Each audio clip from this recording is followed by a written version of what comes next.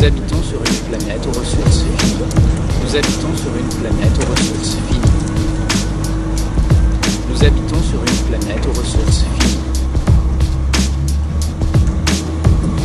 Toujours plus de conneries, toujours plus de bêtises, toujours plus de violence, toujours moins de démocratie.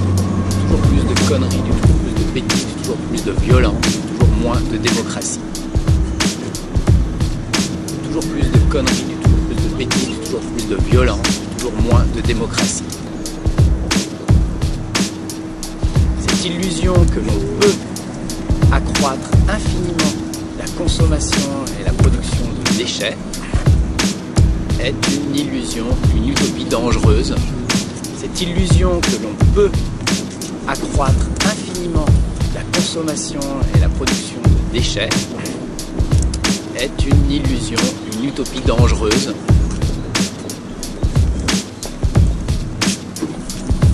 Faut pas avoir peur des mots.